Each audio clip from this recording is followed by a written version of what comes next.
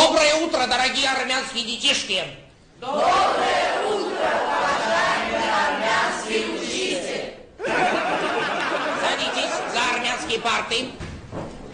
Засуньте свои армянские ручки в свои армянские портфели и достаньте оттуда армянские книжки и армянские дневники. Я буду ставить туда армянские оценки.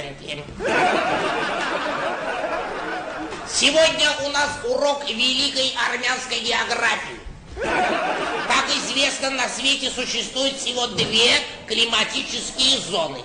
Первая это армянская, и вторая Субтропическая. неправильно тупокян. Первая это армянская, а вторая это не армянская климатическая зона. Она составляет всего 5% от территории Земли. Это Азербайджан и Турция.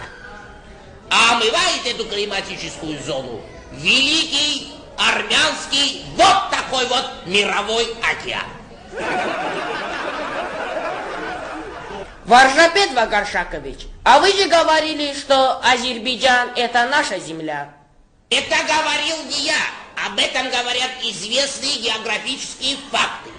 А, ребята, кто знает, какие армянские города находятся на территории Азербайджана? Балдаян, Шувилян, Мардакян, Сальян. достаточно, садись, семь. Итак, ребята, если мы посмотрим на армянский меридиан, то он рано или поздно приведет нас куда?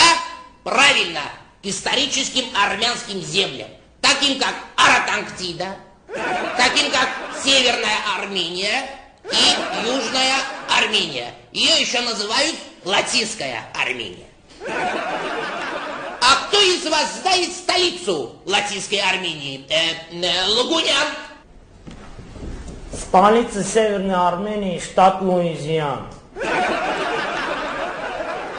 Молодец, Лагунян. 12 с плюсом.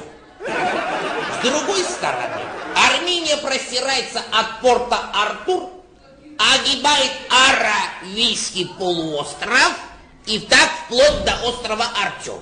Правильно? Правильно. Кстати, кто знает столицу Египта?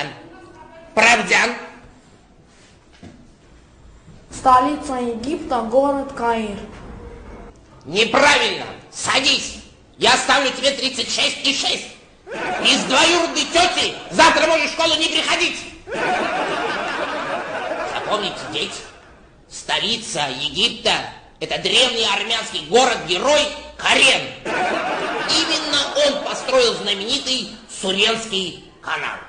А кто мне скажет, какие древние армянские животные водятся по всему миру? Э, Лагунян, Царь зверей Ливан, его заместитель Тигран и секретарь Совета Безопасности Арангутян.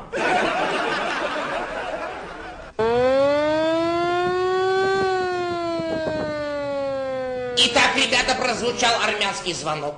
На следующем уроке мы с вами поговорим об армянском космосе.